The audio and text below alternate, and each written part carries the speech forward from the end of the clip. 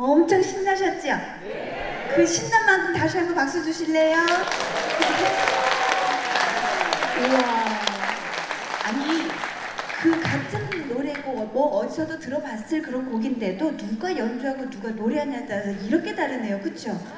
마치 한국형 심장이 뛰는 것 같아요. 네. 분명 성악 분들인데 우리 악기와 더불어서 연주해서 들으니까 그렇게 벅차오를 수가 없습니다. 그런데 앵콜을 하시려면 빨리 하셨어야지 들어갔으면 어떡할 뻔했어요. 그쵸?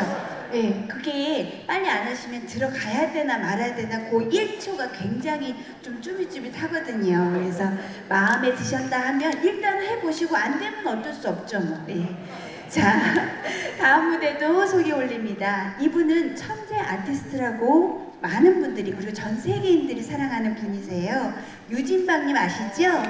예, 전자 바이올리스트인데 이분이 연주하는 곡이 사실은 우리 국악 관현악 곡이에요. 홍동기 작곡의 고구려의 혼이라고 고구려의 아주 진취적인 기상을 연주곡으로 담은 곡인데 이 곡을 전자 바이올린으로 초연을 이분이 처음 하셨는데 그 다음에 또 첼로도 한번 해보고 다 해봤는데요.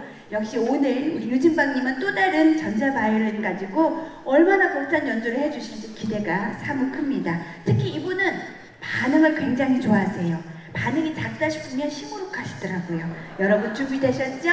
유진박님 큰 박수로 맞아주시기 바랍니다.